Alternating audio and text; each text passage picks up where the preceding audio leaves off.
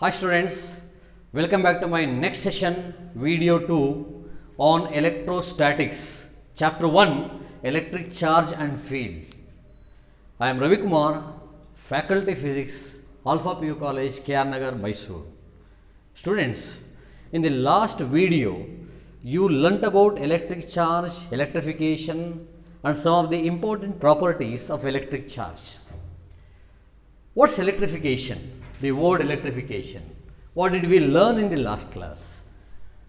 I showed you through simple experiments when you rubbed object like plastic with fur, it attracted light materials. That property you called electrification and that property acquired by the material you called charge. How many types of charges are there? There are two types positive and negative. Positive negative together called unlike charges. Unlike. And positive positive, negative negative you called like charges. Like charges. An important property unlike charges attract attract and like charges repel like charges repel right and you learn some more properties of charge. Number 1 under that charging process is additive additive additivity of charge. Second one charge is conserved. The process of charging is conserved. And the third one the process of charging is quantized. Quantized. What is additivity charge is like a number. When charges of different bodies put together they add like numbers. What is conservation? In conservation property when charge is produced on a body charge on one body is not produced. Charges produced on two different bodies they are equal in number opposite in nature. That's the meaning of law of conservation. And quantization when charging takes place charges are transferred from one body to another. The process of transfer is an integral multiple of a fundamental value that is denoted by e. The value of e is 1.6 uh, 10 power minus 19 coulomb coulomb SI unit of charge. If I denote the symbol of charge by value q q charge in a body that's equal to ne where n an integer that is plus or minus 1 plus or minus 2 plus or minus 3 etc including 0 0 implies no charge net charge 0 plus 1 minus 1 what is the meaning of plus 1 minus 1 we will see now. The meaning of that is say for example if you buy a pen from a market you buy one pen whole one pen. Or two pens three pens four pens five pens. You don't buy one and a half two and a half right? Like that during charging charge takes place or transfer of charge takes place in terms of integral multiple of fundamental value. That fundamental value is 1.16 power minus 19 that's the idea right now we'll see the meaning of plus minus and overall idea why the electrification takes place in substances. Let's see now today. Cause or reason for electrification. Students you have learnt in your high school that every matter made up of molecules of course there are atomic substances. Generally matter made up of molecules molecules made up of atoms molecules made up of atoms. These atoms composed of three fundamental particles proton proton neutron neutron and the third particle electron. You know this very familiar. Here the proton is positively charged. Neutron is neutral no charge neutral particle electron is negatively charged you know protons and neutrons are inside a very small volume in atom that you call nucleus. That you call nucleus.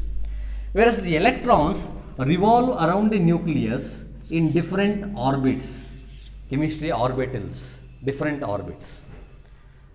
And distribution of electrons in the atom for different elements you learnt in chemistry class as electronic configuration. For example, you consider sodium, very familiar metal, one of the metals. It is a story with all metals, what I am explaining you. This is called atomic number, atomic mass. Let's take atomic number. What does this atomic number imply? What is the meaning of atomic number? Atomic number implies what? Atomic number implies there are 11 protons and 11 electrons. Denote electrons by small e, like basic charge. Now, protons are positively charged, each having value plus E, plus E. How many protons are there? 11 into 11. That's equal to plus 11E. Similarly, how many electrons? 11. Therefore, charge of each electron is minus E into 11. That's equal to minus 11E.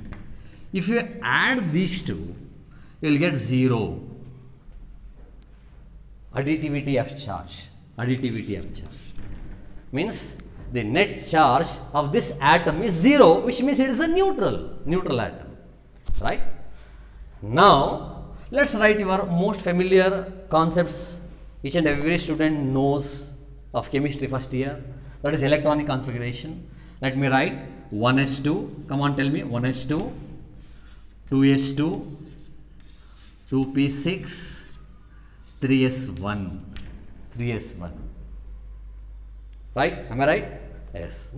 Here this electron is called valence electron. So only one electron third shell yes subshell electron one electron that is a valence electron free most free electron is not free to move all around the space but is bound to the nucleus bound to the nucleus very loosely bound compared to remaining 10 electrons.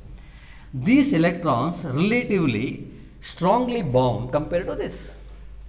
With a supply of energy in any means, suitable energy, this electron can be easily transferred, very easily. It's not with the case of protons. Protons are very tightly bound, they are inside the nucleus, very difficult to remove protons from the nucleus. Whereas electrons can be easily transferred from one atom to another. The two valence electrons can be easily transferred. Right? Now, what did we do in the last class? See, I did this simple experiment. I took this plastic handle, rubbed with this fur. What did you observe? If I rub like this, according to our theory, why or how electrification takes place, if I rub like this, I am giving some energy to the electrons, required energy, absorbing that energy, electrons jump from one material to another. There are two here, one plastic handle, the other one 4. Here if I rub like this, one body gets one kind of charge, the other another kind of charge. Can you identify charge? Yes. If I hold this rubbed object near, bits of paper, they get attracted. See here? Look, they are getting attracted, right? According to Benjamin's Benjamin Franklin's choice, how did he choose the names of the charges? He chose the charges name as positive and negative. According to his convention, the charge on plastic, what did he do? He chose charge names like this glass rubbed with silk glass rubbed with silk here charge on glass rod called positive and charge on silk negative similarly plastic rubbed with plastic rubbed with 4 here charge on plastic negative and on 4 positive that on for positive benjamin franklin's choice So, according to this choice, charge on this must be negative. Charge on this must be negative. What about charge on this? Positive. How did this plastic handle got negative charge?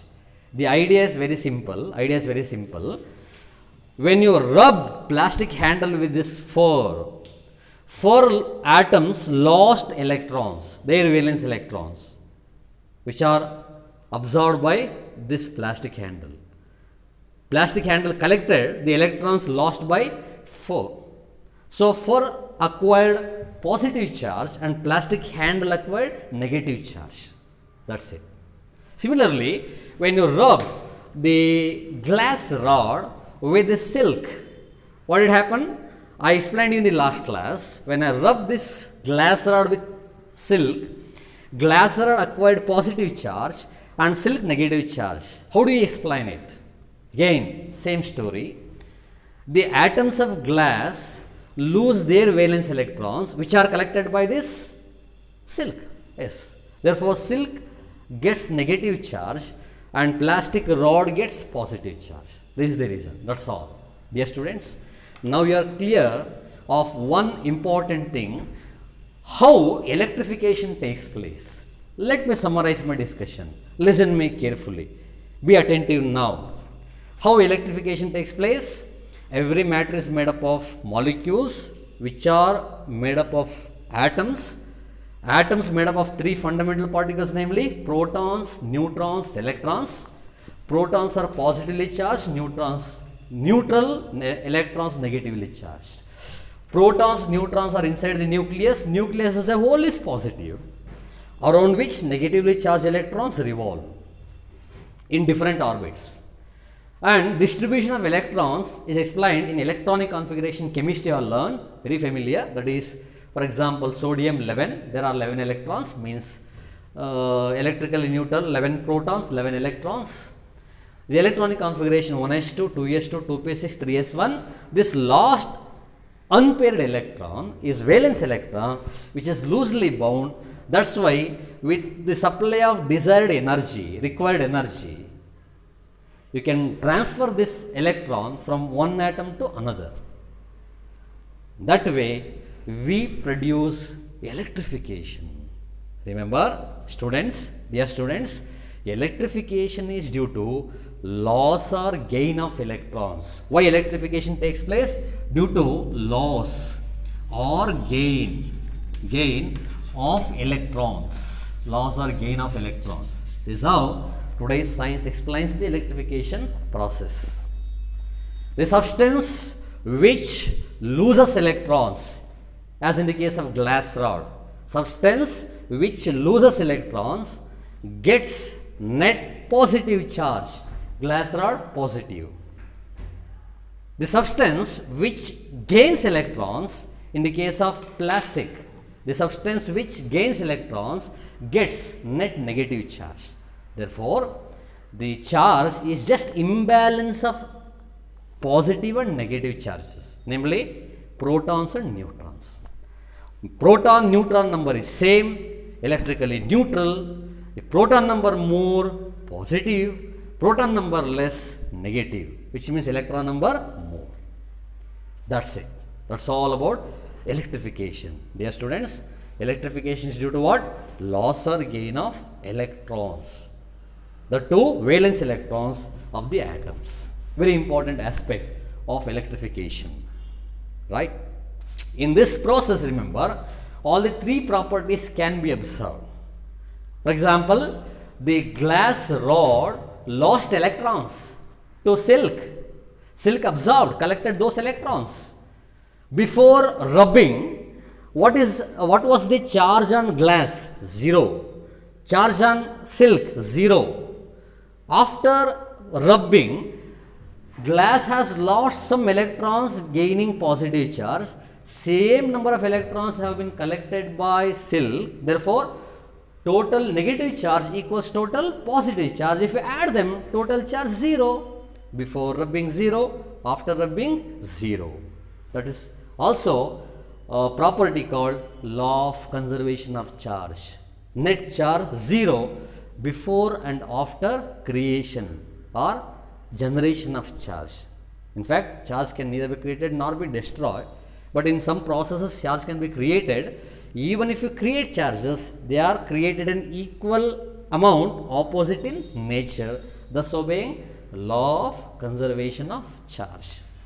And during charging, charging in the sense what? If whenever I use the word charging, you think electron transfer.